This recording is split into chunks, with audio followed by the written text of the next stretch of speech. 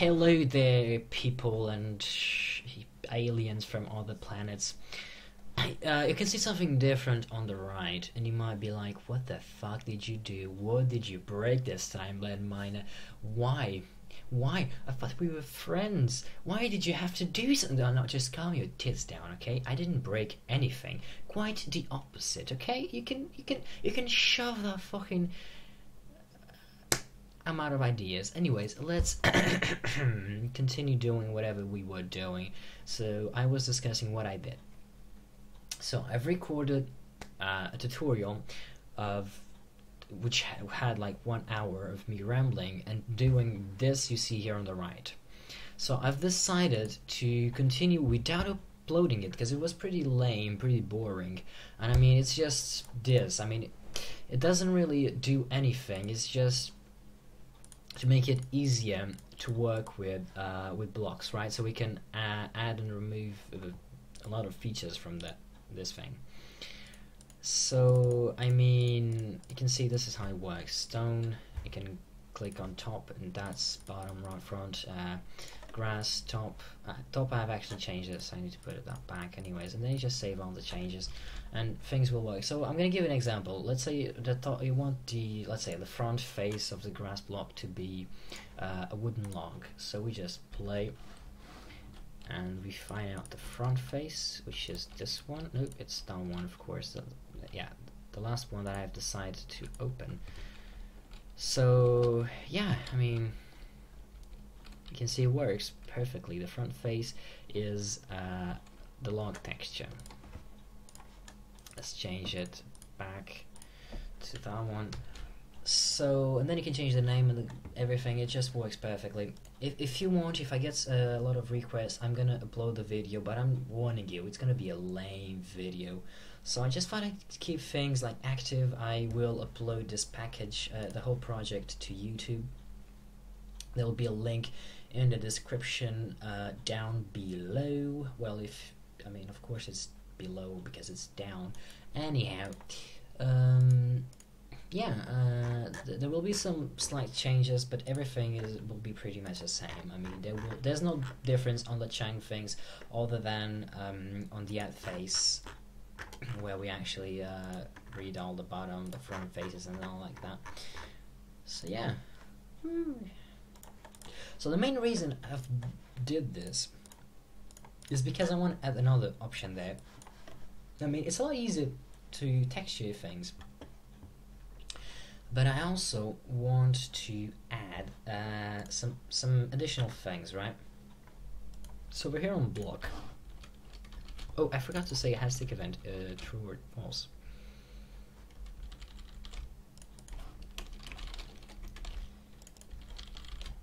Here I'm gonna say then, I'm gonna add this on, on camera right now. So keep tuned. Uh, I'm gonna add this up here. So I'm gonna say editor GUI layout toggle this bad boy.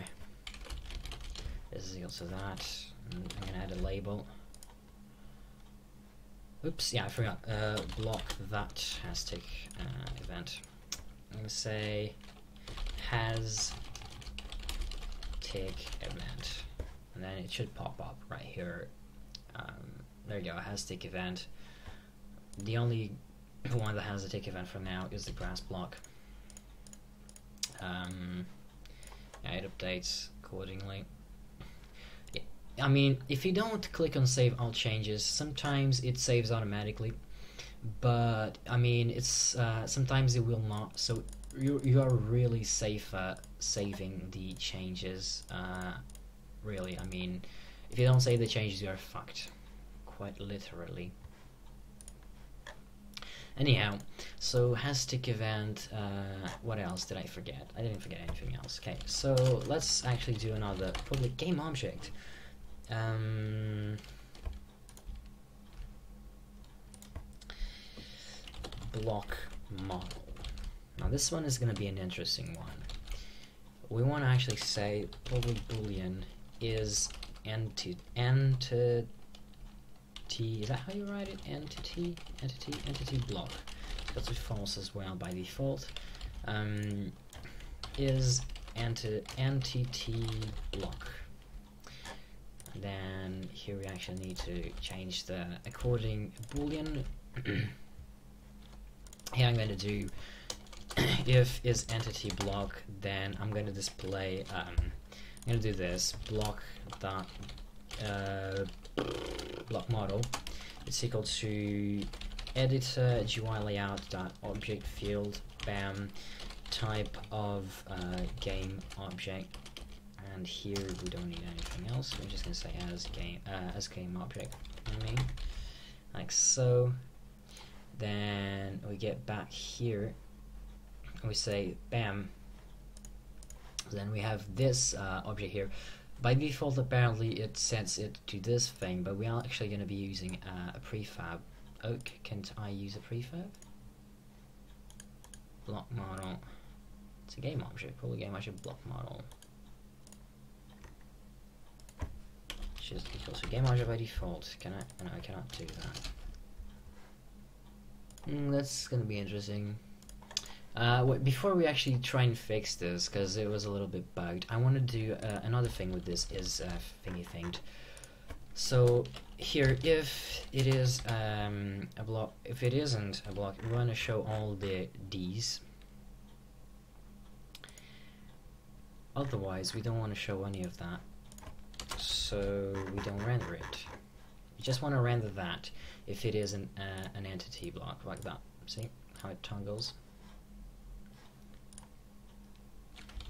For this I'm going to make another another block. I'm going I'm to call this block here uh, chest. Display name chest. Chest block. This is a way to find the block uh, by code. We don't use IDs, we use uh, these names for now. Maybe I'm gonna set up some IDs later on. Mm, for now we're gonna be using uh, chests and stuff like that not chests, names. Uh, anyways, has tick event. Um, this is going to be actually true, but it's not that kind of a tick event. We're going to do another type of events, which is um, interact event, which will include right-clicking, right? So yeah, this is an uh, entity block, and then we need actually to fix this. So we're going to try something different. So game object geo with SQL, then just copy all that. Oops. Oh.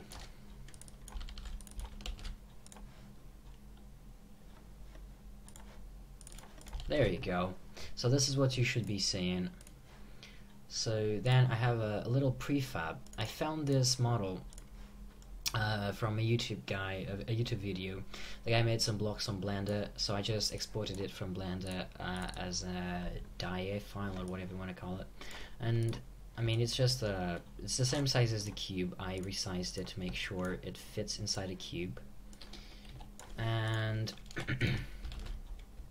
uh, what's there special about it? It has a rig. It has a rig, so I can animate it. If I, it has a little bone which is called lid, which allows me to rotate the lid uh, accordingly, so we can have a little animation of it going like deep Doop, doop, doop. Yeah, you get it. You get the, you get the idea.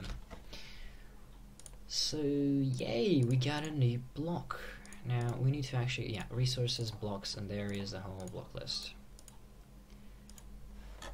Now we have to use it accordingly, right? So how do we use it accordingly? Good question. We're gonna have here, uh, like, we have for each, um, for each map, we have a list of, uh, of the blocks. Uh, we're also going to have a list of game objects. Alright, just like that. Uh, do I want to do this? I think, nah, nah. I don't know if we actually need to do this. Uh, I think that we just need um, an array of, um, of game objects, just so we have what to delete every single time. So, objects, uh, actually entities. Should I say block entities? Because block entities aren't going to move around. They're going to be static all the time. The only difference uh, is that they're not going to be a part of the mesh chunk they're going to be uh, something uh, something else something different. So another thing I want to add to this thing to the block uh, is another boolean which is uh, is transparent. Well, that we can add later. Um, is uh, can collide with, which is always going to be equal to true. That's going to be good for water later on. Alright. Where is it? Here it is. Has tick event is, uh, yeah, I want to add this here. Player can collide. Can collide with. Just like that. Pretty cool pretty awesome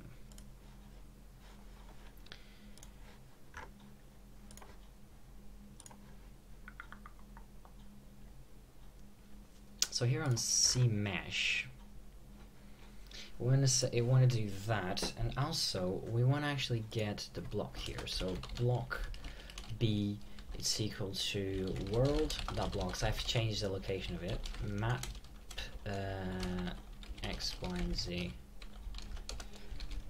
So that should return us the block. We want to actually do minus one for us to get the exact uh, the exact uh, block since 0 is air and we need to get in 1, yeah, just do minus 1 for, for you to get the right block. They want to say if block that is, um, yeah, we actually need his block transparent.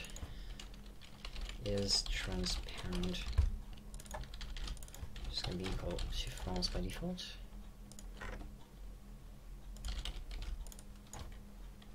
Is transparent.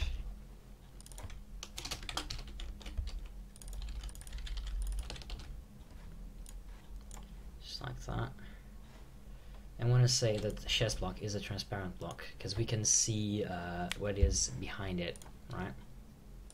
And then here on the is block transparent, we're gonna say uh, return get world block is equals to zero.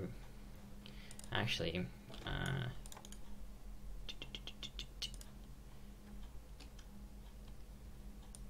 gonna, it doesn't really matter. Anyways, get world block, this is gonna return that uh, minus one.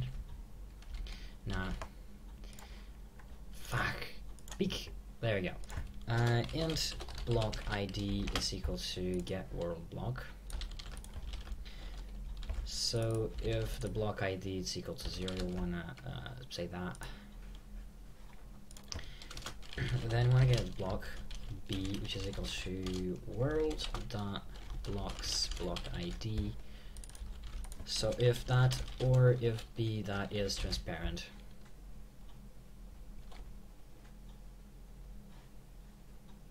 Okay. Same thing here actually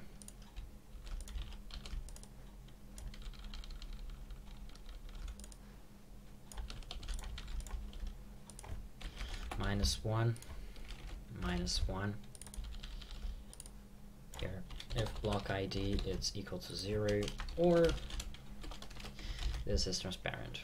Just like that. Anyway, so if the block is um, is entity block, we do that. Otherwise, we render it as usual.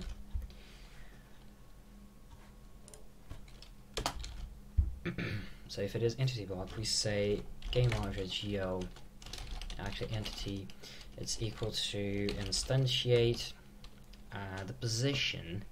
It's chunk position plus new vector free x, y, and z.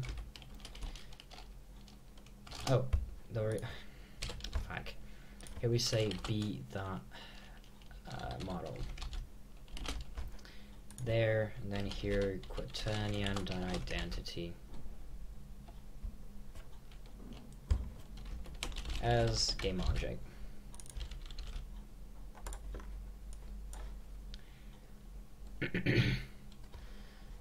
mm, we just need a list of game game objects. Actually, don't don't let's not get wait nah.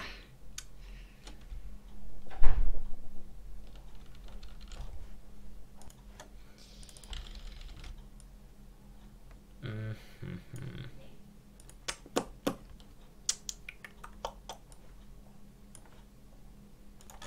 We're gonna have a list of list of game objects.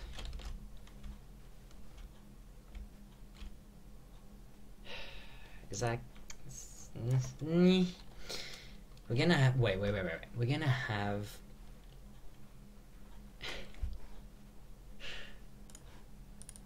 an array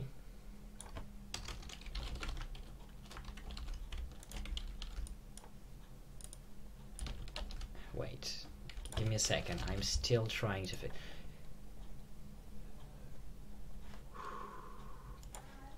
I want to have an array of lists so I think this is how you do it nope fuck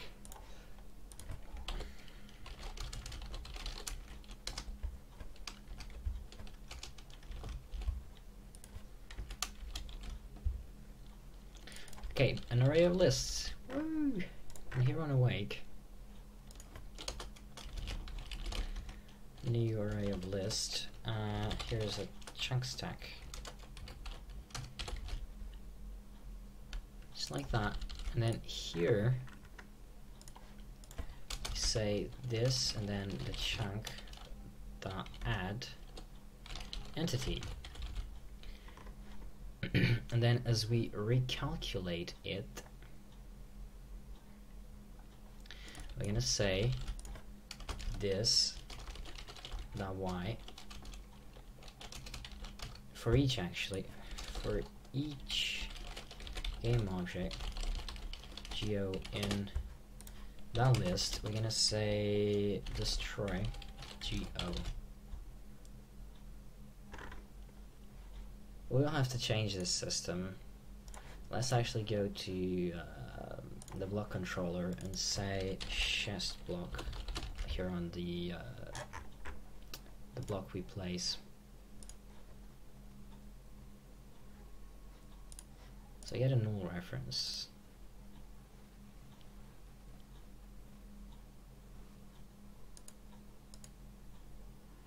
This is what's giving me the null reference. I mean, we are in initializing it right here.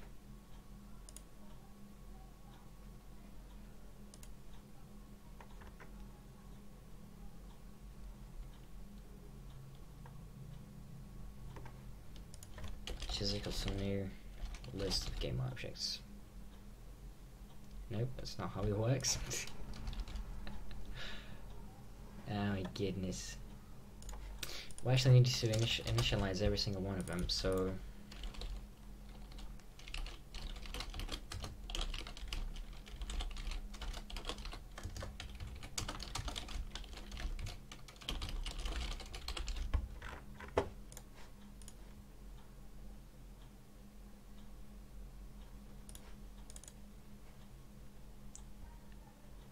And this is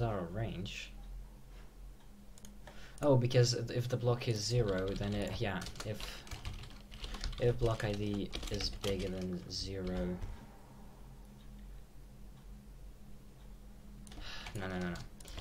If block ID is zero, return true. If not, do that. Here we want to do the exact same thing. That, otherwise, return that.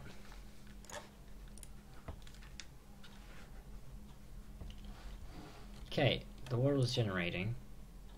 Can place a chest. There you go, the chest is placed. If I somehow... No, I cannot break it since it's not there. But I mean... You can see I'm not able to place another block there because it already existed.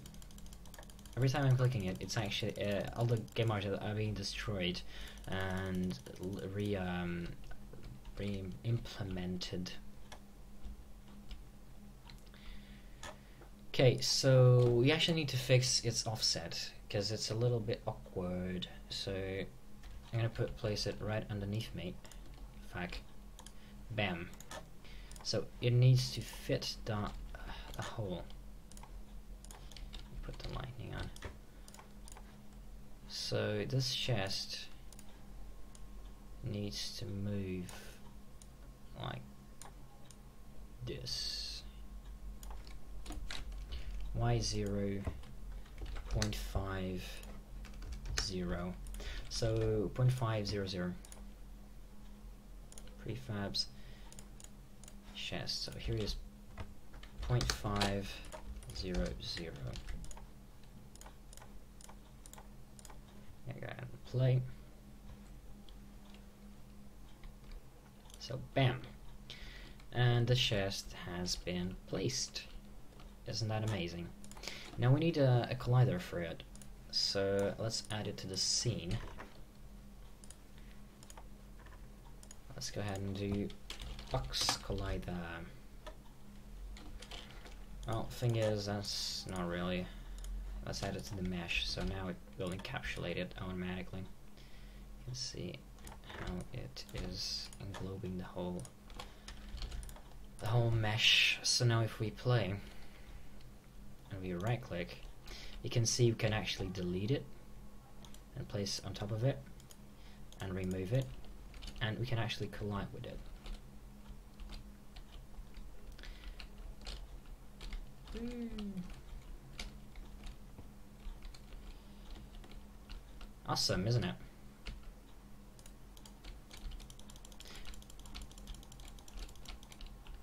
Oh snap. I think after, if you put way too many of these, your frames per second are going to go way down at, like, by, because it's going to recalculate everything.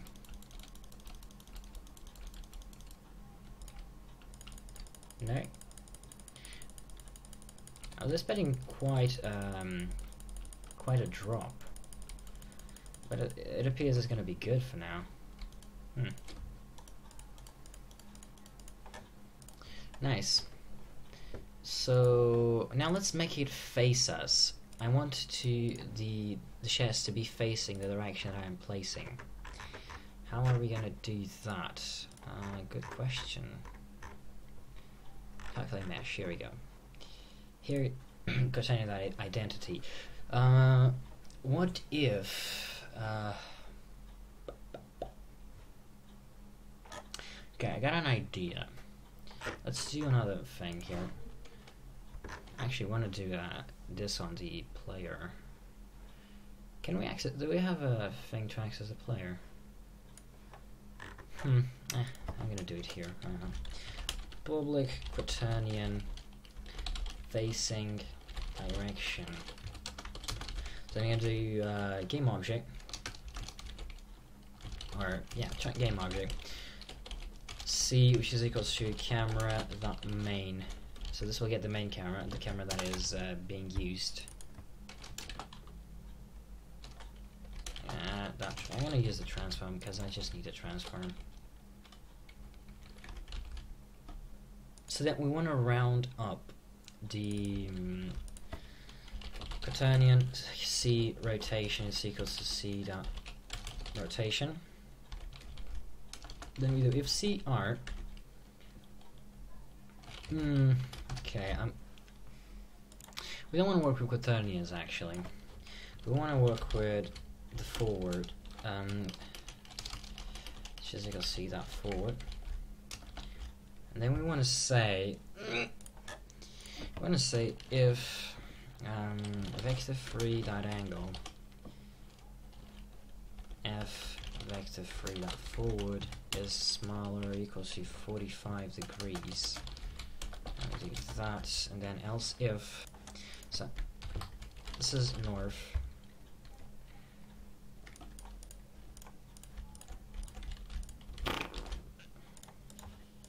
Hey, um, so here we do the right. Now we do the exact same thing. This I'm gonna do south here. South is gonna be the back. And then the other one uh, is gonna be uh, just else. Uh, cannot write south. What's left? West. Can, can you actually say uh, direction that forward?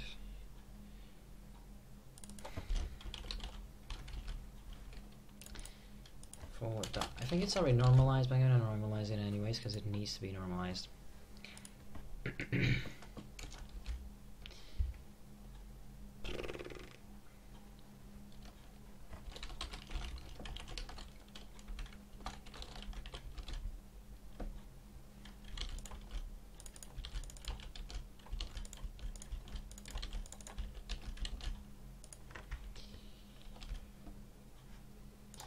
Sorry for that. Um, and here we do the left one. Otherwise, we just return uh, vector 3 that forward. So here, I don't know if you can say like this that uh, transform that forward. It's equal to get facing direction. Uh, actually, we are doing something wrong here. I need to say here, um, we need to say the facing direction. Public vector free uh, facing direction.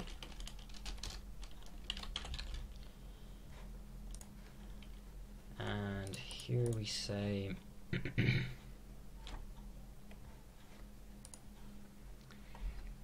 Hmm. That. Copy that. do that. Um, set world block. Here I'm gonna do vector free facing direction. So all block is equal to get world block.